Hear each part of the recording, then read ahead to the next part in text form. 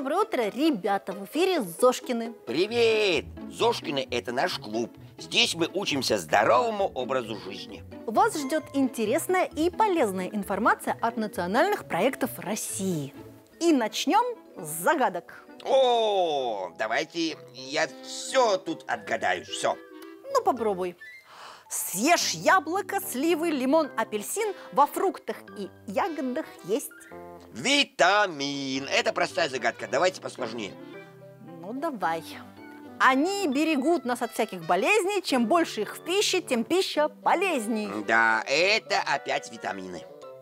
Да, это опять витамины. Но. Потому что мы на шутка сегодня будем говорить о фруктах и овощах. О, Фрукты и овощи таят в себе много любопытного, и многие из них совсем не то, чем мы привыкли их считать. Например, тыква, дыня и арбуз – это ягоды. Банан на самом деле трава, а не фрукт. Это самая высокая и прочная трава семейства орхидей, и банан – это ее ягода. Самый первый овощ, который разрешен младенцам – это брокколи. Капуста не вызывает аллергии и содержит много витамина С. Считается, что яблоки дают больше бодрости, чем кофе, потому что природный сахар действует мощнее кофеина. А еще картофель и лук нельзя хранить вместе. Они друг друга терпеть не могут и быстро начинают портиться.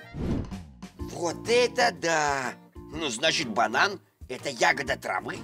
Но на самом деле, Мишутка, ботаники еще будут долго спорить. Нам главное другое, что в них много витаминов и клетчатки, поэтому фрукты и овощи нужно есть каждый день. Ну, например, те же самые каши. Хорошо всегда есть с фруктами и ягодами, так они и вкуснее, и полезнее. Ой, это я люблю. Мне бабушка в кашу кладет печеные яблоки. М-м, объедение. И правильно бабушка делает. И сейчас к нам в гости придет Серафим, и мы продолжим говорить о вкусностях. Всем привет! Привет, привет тебе, Серафим. Доброе утро, Серафим. Мы сегодня обсуждаем витамины, и овощи и фрукты. Скажи, пожалуйста, а вот ты лично много ли ешь овощей и фруктов? Да.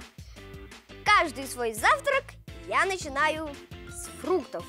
А еще мне их мама кладет в школу в качестве перекуса. А какой мой любимый фрукт, ты сейчас, Мишутка, угадаешь в загадке. Да, ну попробуем. Королевич из садов всех порадовать готов. Есть с румяненьким бочком и с веселым червячком. Кругленькое с ямочкой, наливное Яблочко. Правильно. А овощи я ем за ужином. А какой мой любимый овощ, ты тоже сейчас угадаешь в загадке. Ну, Загадочку я люблю, давай. И я хочу, и я хочу угадывать. Давай. Под зелененьким листочком тонкий маленький хитрец. Это с желтеньким цветочком прячет тельце. Огурец. Огурец Правильно. молодец. Правильно. Давайте продолжим говорить о витаминах. Сейчас я вам покажу вот этот вот большой, прибольшой поднос и очень тяжелый.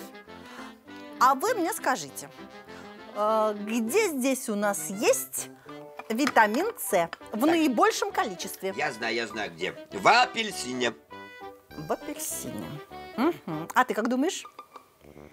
А я знаю, что в киви в 10 раз больше витамина С, чем в апельсине. Правильно, Серафим. Именно киви рекордсмен по содержанию витамина С. А зачем нам нужен витамин С? Для иммунитета, чтобы победить любую простуду.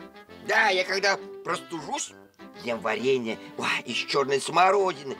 В ней тоже много витамина С. Нет, Мишутка, к сожалению, в варенье из черной смородины уже нет витамина С. Почему?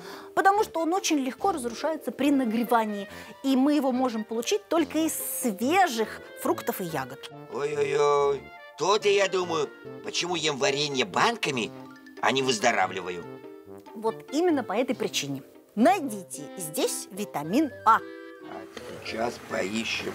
О, о, в морковке много витамина А, я знаю. Ага. Итак, версия Мишутки – морковка. Морковка. А твоя версия, Серафим? А еще витамина А много в любых овощах и фруктах красного и оранжевого цвета. В овощах это помидоры, красный и оранжевый перец, тыква. А в фруктах это абрикос, персик и дыня. Гениально. А следующий хитрый вопрос. Зачем нам витамин А? А, я знаю, я знаю, я знаю. Без него бывает это куриная слепота, да. Это когда в темноте ничего не видишь.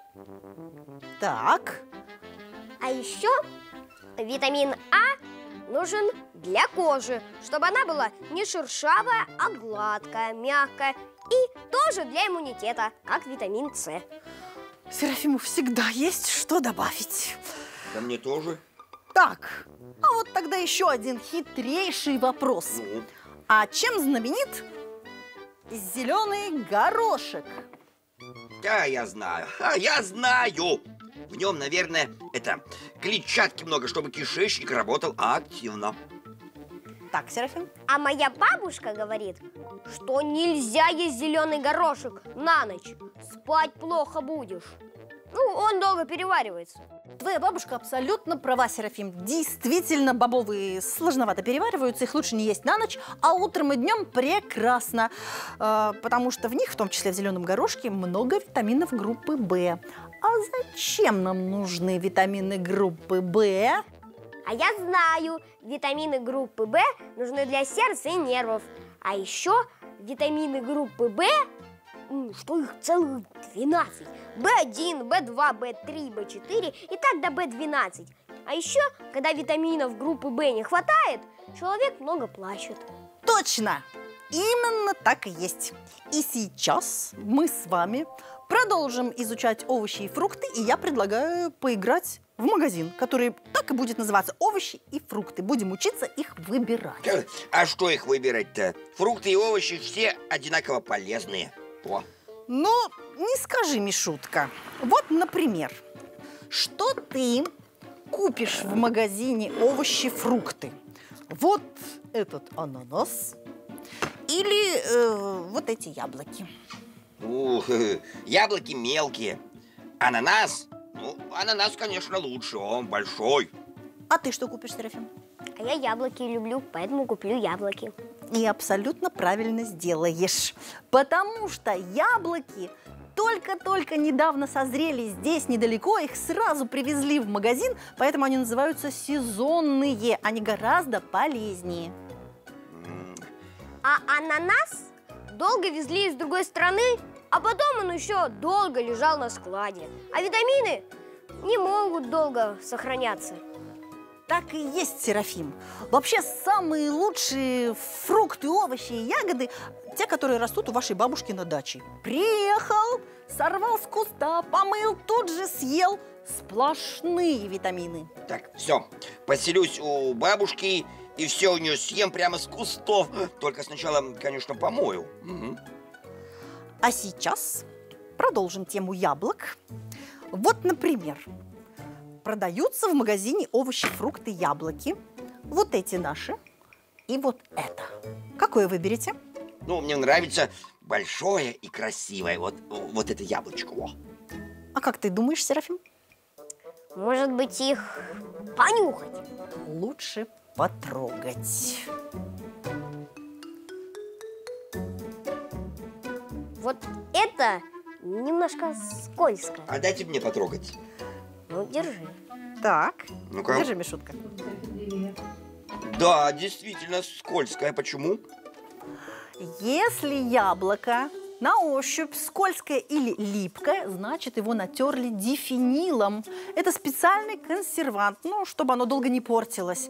А если этот консервант, э, скажем так, не очень хорошо. Вот такое красивое яблоко. Что, выбросить? Нет, можно просто-напросто срезать с него кожуру, либо помыть его с мылом. Выбирая овощи и фрукты, внимательно их рассмотрите. Не нужно брать овощи и фрукты с пятнами или трещинами. Там может быть плесень и другие болезни растений. С налипшей землей или песком тоже не стоит брать, в них могут быть паразиты. Помятые и раздавленные плоды также не покупайте, часто они подгнившие. Если плоды слишком влажные, это тоже должно насторожить. Продавцы иногда вымачивают их в растворе антибиотиков для веса и увеличения срока годности. И не храните овощи и фрукты в холодильнике долго, они могут и там портиться. Вот это премудрость. М. Можно ходить с бабушкой в магазин и помогать ей все выбирать правильно. Какое счастье твоей бабушки, что ты есть у нее. Дорогие родители, на портале Роспотребнадзора здоровое дефис питания.рф вы найдете подробную информацию о том, как правильно выбрать овощи, фрукты и как включить их в меню детей и взрослых. И на этом сегодня все. Ребята, вступайте в клуб Зошкиных. До следующей встречи! Пока! Пока-пока!